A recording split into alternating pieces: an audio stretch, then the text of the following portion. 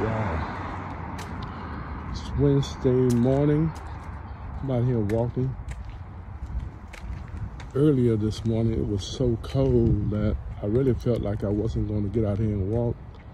Yesterday was cold and windy, and I didn't walk, but I just come from it. It's cold like, but it's not it's too cold.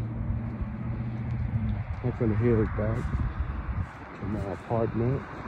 Hope everybody's doing great. Tomorrow is Thanksgiving, and we have so much to be thankful for. And I know everyone that comes on here can find something to be thankful for.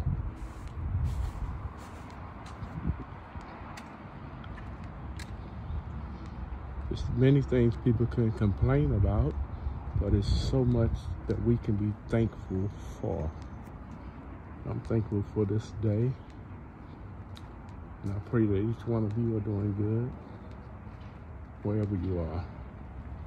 Have a great one.